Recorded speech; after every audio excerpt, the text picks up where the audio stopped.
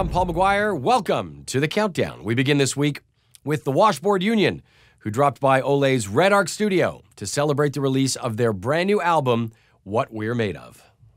It just gets better and better for you guys every single time I bump into you, and, and this is this is good because it would be awkward if it was going the other way. but every time I bump into you guys, things are getting better and better. And uh, um, is it? I, I'm going to paraphrase the the first line from from Shine uh, uh, incorrectly, maybe, but you've been waiting.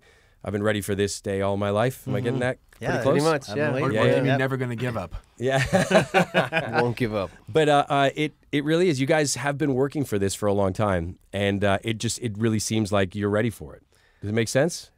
Yeah, it Yeah. does. It does. We were actually talking about it this morning. How um, I mean, music has just been such a big part of our lives from the very beginning, individually and together. That it just that you couldn't think of anything else you wouldn't be doing. Yeah, it's just it's just in you. And it can seem like, um, for a lot of people that maybe have never heard of the band before, it can seem sort of, you know, very abrupt in terms of all of a sudden more people know about you. But it just feels as though more incredible things have just been happening consistently since we really got going. And, you know, we got asked, like, when did you really know that it had changed? And it's just, there are so many of those unique moments. Most recently, being out on the road with Old Dominion, the first time we're stepping out into arenas and people know the words, but not just to the single, but they know the whole show. That has never happened before in our entire lives, and that that is such a crazy moment. You can't look them in the eye, or you forget where you're at in the song. but That's a game changer, It's a, sure. it's really been amazing. And, you know, to that point, I mean, I know that in that moment, I had that moment of like, well, uh, do we do we belong here? Is this like is this what we've actually is this what we've we've been wanting this? We've been asking for this. We've been working towards this, but is this like are we actually doing it? Like this is it. You know, cuz it's it's terrifying sometimes stepping in front of, you know, 10,000 people and doing your thing and they're screaming your song and going whoa whoa whoa and you know like they're ready for a show they paid money to be there they're expecting a show and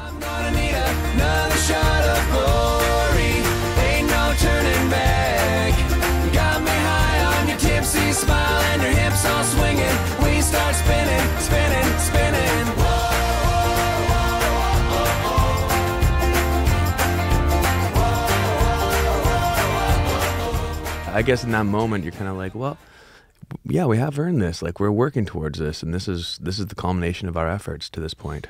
What We're Made Of is available now. The album's title track makes its top 20 debut at number 20 this week. We're a country song, Rocky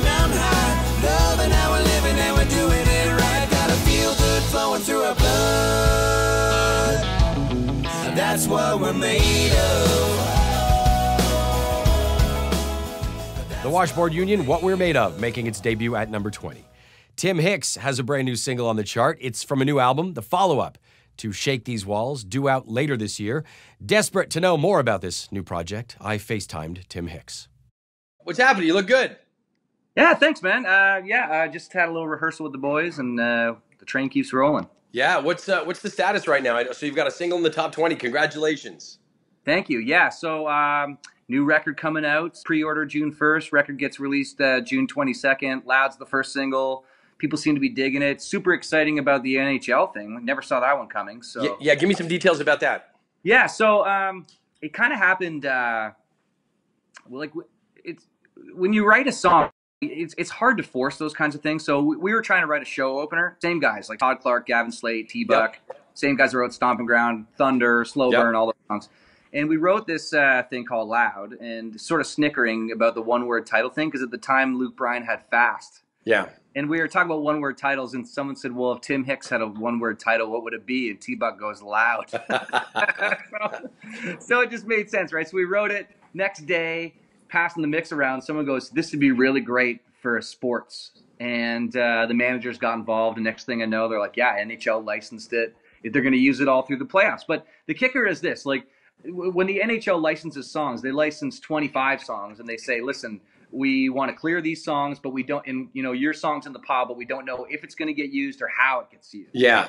And uh, we just lucked out, man. It's been used all over the place bumper music and um, uh, highlight reels and social media stuff, and they seem to be really digging it. Well, that's amazing. And I know everybody here is going to be happy about that as I sit here at Ole's headquarters in Toronto because Gavin Slate, I believe, is is an Ole writer. an Ole songwriter. he sure is. So yes. that's good.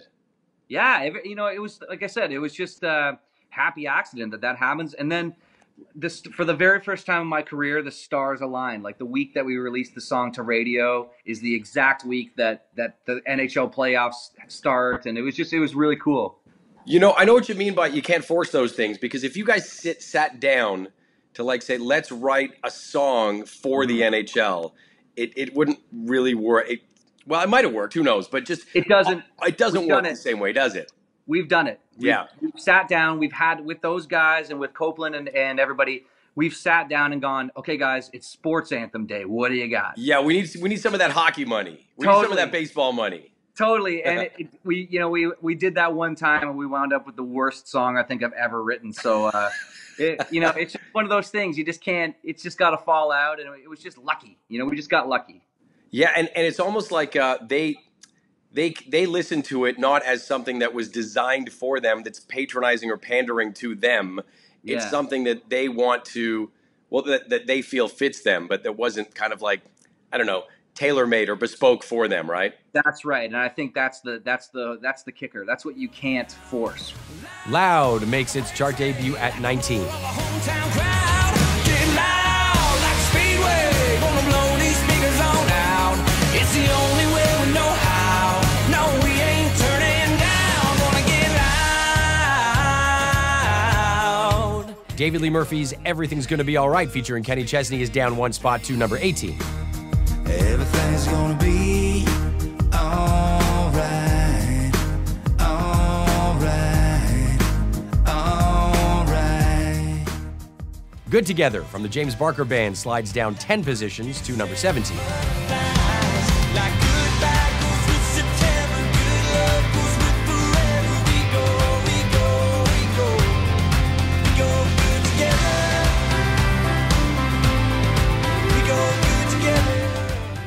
Keith Urban's Coming Home, featuring Julia Michaels, moves up two positions to number 16.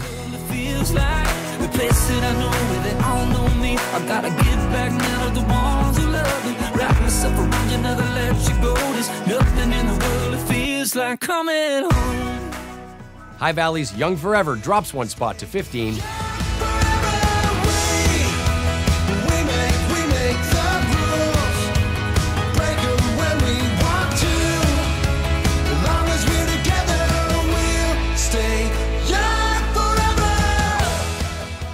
Jason Aldean's You Make It Easy drops down six spots to number 14. My better half, my saving grace. You make me who I wanna be.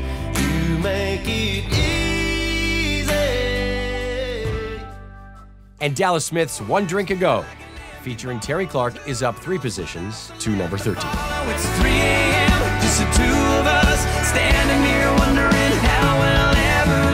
Now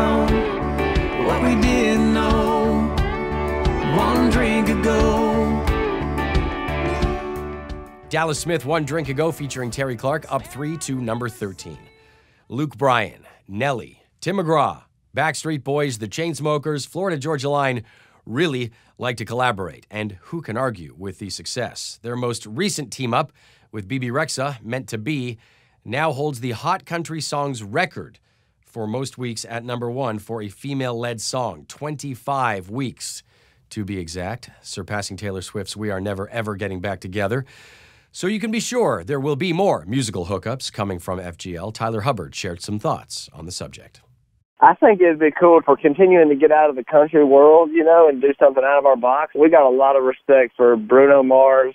I think he's amazing. Justin Timberlake's amazing. I think we could do something cool together. Do You know who else is random that I think would be fun to work with? Is Cardi B. I don't know. That's so random, but I think that'd be cool. Bebe Rexha's Meant to Be featuring Florida Georgia Line drops three spots to number 12. Maybe we won't, but if it's meant to be, it'll be, it'll be. Baby, just let it be. If it's meant to be, it'll be, it'll be. Baby, just let it be. Let's go. And Long Live the Night from the Reklaws moves up three positions to number 11. Fly on by. We're just small town stars holding on to midnight. Take a sip, this is it. Raise them on up real high. Sing long live the Reklaws, Long Live the Night, up three spots to number 11 on the chart. All right, 10 down, 10 to go. It's time to head to Hollywood for Zach Selwyn's One Minute Music Minute. It's the one minute musical minute. Welcome to the One Minute Music Minute live from my kitchen. My name is Zach Selwyn. My daughter's back. Hey, it's time for bed. You got to floss. Not that kind of floss. Country Music Television, CMT, has greenlit the new reality series Bachelorette Weekend, which documents Nashville as the hot new town for bachelorette parties. In related news, Garth Brooks is opening a strip club called The Thunder Rolls from Down Under. Willie Nelson abruptly canceled a concert this week, claiming he had a stomach bug. Coincidentally, a stomach bug is also the name of an edible chocolate marijuana cookie. Smoke up, Willie.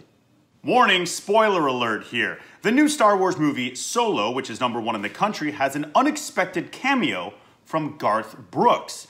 The. What's that? It's not Garth, it's Dar- Darth?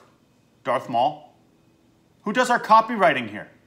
It says Garth Brooks in the teleprompter. You're fired. That's it for the one minute music minute. My name is Zach Selwyn. We'll see you next week. I hired my daughter as our new copywriter. Anything you have to say about the new job?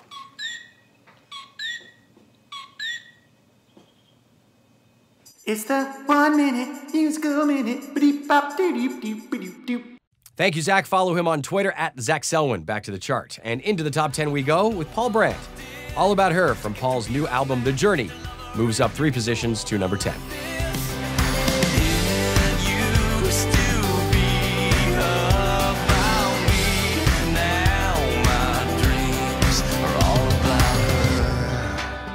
Paul Brandt, All About Her, up three to number 10 on the countdown.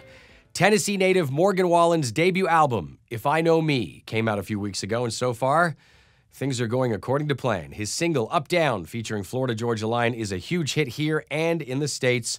Morgan dropped by Ole's Red Arc studio this week. Right here in Canada, as you and I sit here right now, you have uh, you got two tracks on in the top 20.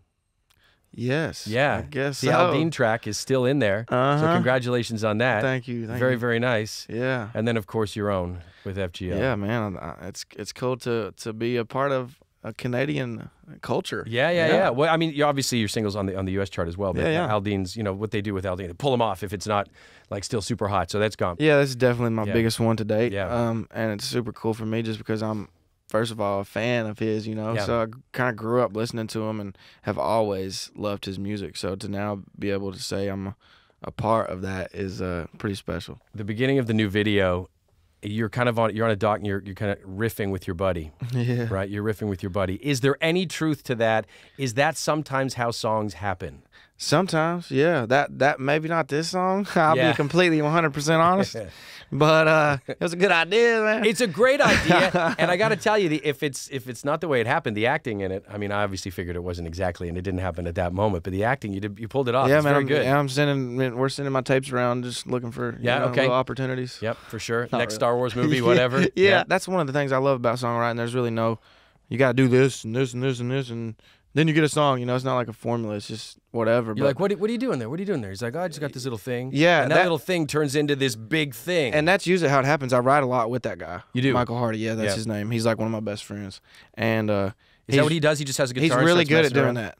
He's really good at just little licks. And you know, if if one does hit my ear, it's pretty much like that. So it's just like, yeah, keep doing that, keep doing that, and then we'll me and him do a lot of that riffing off each other, like and it'll just trigger lyric-wise. like a, a complimentary. Well, yeah, well, I mean, it, it obviously helps if we have an idea already, like Yep. for a song. That helps.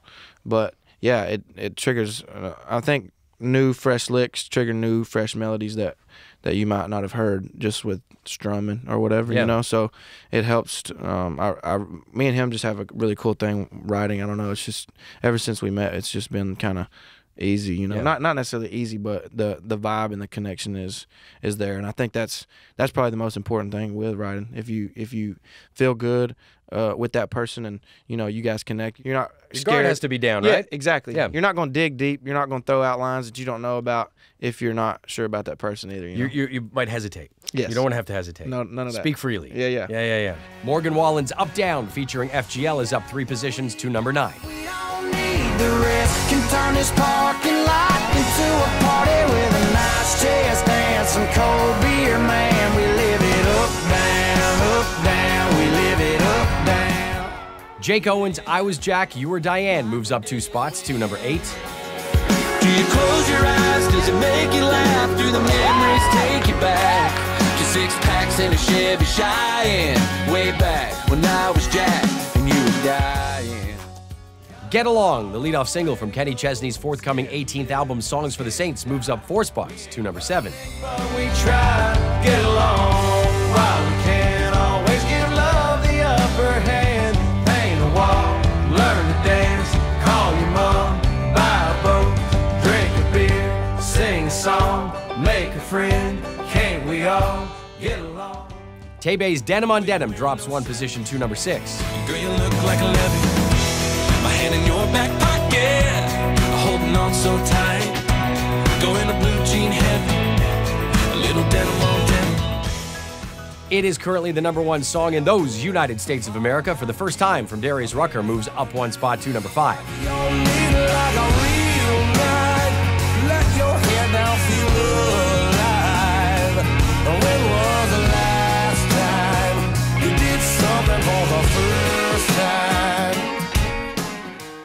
Blake Shelton's I Lived It remains at number four for a third week in a row.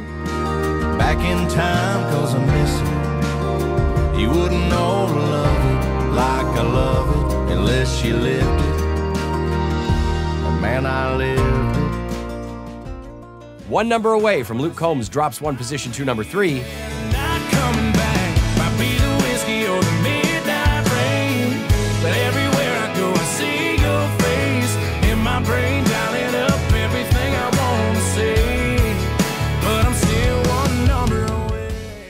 And Dierks Bentley's Woman Amen moves up one spot to number two.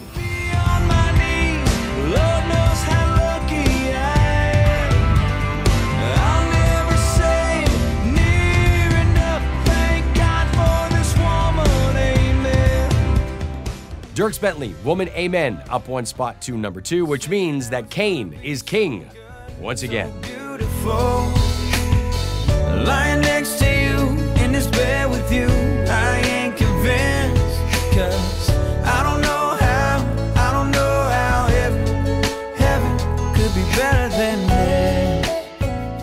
King Kane. That's right. Kane Brown's Heaven is the number one song in the country once again. All right, that is a wrap.